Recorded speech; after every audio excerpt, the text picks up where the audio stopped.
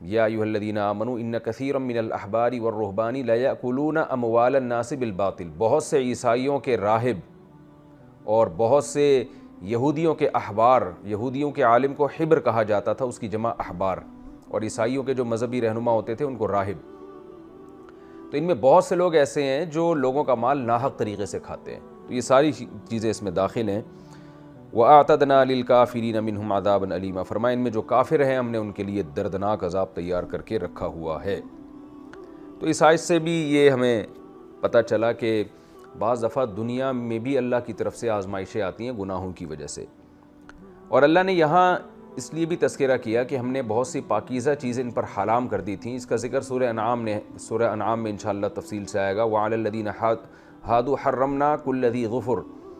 वमिन अलबकरी वलगनम हर्रमना अलहम शहूमहुमा इल्ला हमलत ज़ुहुरुहुमा अविल हवाया अव मख्तलत अबियाज़म उनमें जो सर फहरिस्त, जो पाकिज़ा चीज़ हराम की गई थी, वो चर्बी थी।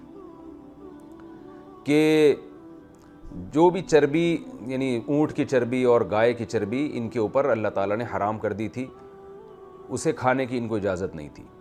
हाँ कुछ मुस्तना थी, मा हमलत ज़हूरहमा अविल हवाया मख्तलत अब आज़म जो हड्डी के साथ मिली हुई चर्बी होती है, यानी जिससे बचना मुमकिन नहीं होता, वो मुस्तना थी बाकी चर्बी अलग से इनके लिए उसको इस्तेमाल करना और खाने पकाने में उसको चर्बी को डालना, ये इन पर हराम कर दिया गया था। तो यहूदी ये भी कहा करते थे नबी सल्लल्लाहु अलैहि वसल्लम से कि ये तो चर्बी भी खाते हैं ऊँट की, हालाँकि चर्बी तो हराम है। तो कुरान इसमें इसका भी जवाब दे रहा है कि कुल्ल ताम इकान हिल बनी इसराइल हर्रमा इसराइल अला नफसी मिन कबली अनतनज़ल तौरा। ये तमाम चीज़ें यहूदियों पर हलाल थीं। और अल्लाह ने बाज़ गुनाहों की वजह से इन पर कुछ हलाल चीज़ों को हराम किया है। तो वो क़यामत तक के लिए हुक्म नहीं है, वो इनके गुनाहों की सज़ा है। और वो पाकिज़ा हैं। देखें, जब अल्लाह किसी चीज़ को हराम करता है ना तो अगर ख़बीस चीज़ को हराम किया है तो ये नेमत है। जैसे कुरान में आता है, वलाक़द कर्रम ना बनी आदम सूर बनी इसराइल में है। वलाक़द कर्रम ना बनी आदम हमने बनी आदम को बहुत इज़्ज़त दी है। वह हमल्ला हम फिल बर्र बहर, हमने इनको समंदरों में भी सवार किया और खुशकी में भी। और व रज़कना वलक़द कर्रम ना बनी आदम। व हम फ़िलबर वलबहर वरज़क़नाहम मिन तय्यबात। और हमने पाकिज़ा चीज़ें इनको रिस्क के तौर पे दी हैं। तो पाकिज़ा चीज़ों का हलाल होना अल्लाह की नेमत और गंदी चीज़ों का हराम होना भी अल्लाह की नेमत है। लेकिन पाकिज़ा चीज़ें अगर अल्लाह पे हराम कर दे तो ये नेमत नहीं है, फिर ये एक आजमाइश है, एक फितना है। तो यहूदियों पे पाकिज़ा चीज़ें, इससे ही भी पता चलता है कि चर्बी भी एक पाकिज़ा चीज़ है और एक सेहत के लिए मुफीद चीज़ है। जिस तरह से आज लोग घी के डब्बे इस्तेमाल कर रहे हैं ना, और अल्लाह की पैदा करदा चीज़ों को छोड़कर तो ये भी एक लम्हा फ़िक्रिया है। और ये जो अल्लाह ने फरमाया कि अखदिमरबा वक़दनहु ये सूद खाया करते थे, हालाँकि इनको रोका गया था। देखें, पीछे जितने गुनाह यहूदियों के ज़िक्र किए गए हैं कि वो पैगम्बरों को कत्ल किया करते थे, उसमें कहीं ये नहीं है कि हालाँकि इनको रोका गया था। वो ये कहने लगे थे कि हम अल्लाह को बरह रास्त देखना चाहते हैं, हालाँकि इनको रोका गया था। यानी जितने पीछे गुनाह ज़िक्र किए गए हैं, उनमें यह ज़िक्र नहीं है कि इनको इनसे रोका गया था। जबकि सूद के बारे में आता है कि ये सूद लिया करते थे, हालाँकि इनको इनसे रोका गया था। उसकी वजह यह है कि पीछे जितने गुनाह ज़िक्र हुए हैं, उन गुनाहों का बुरा होना अकल से भी समझ में आता है। उसमें शरीयत की तरफ़ से रोकना ज़रूरी नहीं है। अकल कहती है कि भाई ये गलत है। लेकिन सूद एक ऐसी चीज़ है जिसका हराम होना अकल से समझ में नहीं आता। अकल तो ये कहती है भाई कि इन नमल बई मिसलरिबा भाई बिज़नेस का एक तरीका ये है कि आप किसी को पैसे देते हो और, या आप कोई इन्वेस्टमेंट करते हो, चीज़ ख़रीद के मार्केट में महँगी करके बेच देते हो तो इसमें और इस तरह से पैसा कमाने में क्या हरज है कि मैंने एक आदमी को एक लाख रुपए कर्ज़ा दे दिया, उसकी भी ज़रूरत पूरी हो गई और वो मुझे जब लौटाएगा तो मैं एग्रीमेंट कर लेता हूँ कि एक लाख दस हज़ार वापस कर देना। तो भाई उसकी भी ज़रूरत पूरी हो गई और मुझे भी फ़ायदा हो गया। तो तिजारत तो इसी को कहते हैं ना कि हर आदमी एक दूसरे की ज़रूरत से फ़ायदा उठाता है। आपको गाड़ी की ज़रूरत है मुझे पैसों की ज़रूरत है, मैं आपको गाड़ी दे देता हूँ और आप मुझे पैसे दे देते हैं। तो इस तरह मुझे चाहिए था एक लाख पे दस हज़ार प्रॉफिट, उसको लाख रुपए फौरी चाहिए, मुझे फौरी ज़रूरत नहीं है। तो मुशरकिन यही कहते थे, ये तो बिल्कुल ख़रीदो फ़रोख की तरह है। तो कुरान ने वहाँ सूर बकरा में जो जवाब दिया, वही जवाब यहाँ भी है। कुरान ने कहा अहल्लाबैआ व रिबा।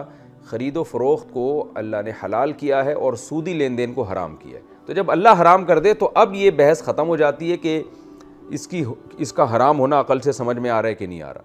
तो इसलिए अल्लाह ने फरमाया कि अगर ये सूद वैसे ही लेते रहते तो ये काम बजाते ख़ुद कोई हराम नहीं था। लेकिन कद नूहू अनहू अल्लाह ने जब इससे रोक दिया तो अब ये जुर्म बन गया।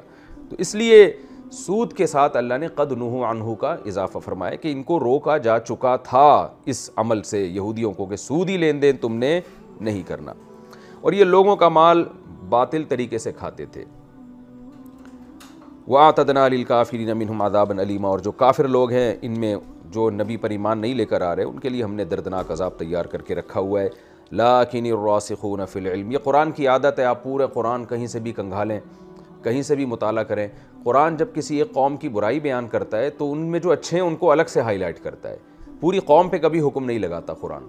तो इसलिए कुरान अहल यहूद की बुराई जब बयान कर रहा है तो कुरान कह रहा है, सारे एक जैसे नहीं हैं। लाकिन रासिखून फ़िल्म हाँ इनमें जो इल्म मज़बूत हैं, रसूख हासिल है उनको। मिन हम इनमें से जो हैं वलमिनूना और जो इनमें ईमान लाने वाले हैं। ईमान का मतलब जो ये चाहते हैं कि हमें सही बात मिले और हम उस पर यकीन कर लें। जो ईमान की तलब रखने वाले लोग हैं कभी कभार फ़ेल बोलकर तलब फ़ेल मुराद होता है। यानी आप कोई काम बोलते हैं तो मुराद उससे, वो काम के तलबगार होते हैं, जैसे हदलमुत्तकीन ये कुरान हिदायत है परहेज़गारों के लिए। क्या मतलब? उन लोगों के लिए जो परहेज़गार बनना चाहते हैं। तो यहाँ भी मतलब है कि जो ईमान लाना चाहते हैं, ईमान वाले लोग हैं, जो इस जस्तजू में हैं कि हक बात मिले तो हम उस पर यकीन कर लें। तो इस तरह के जो लोग हैं, वो क्या करते हैं?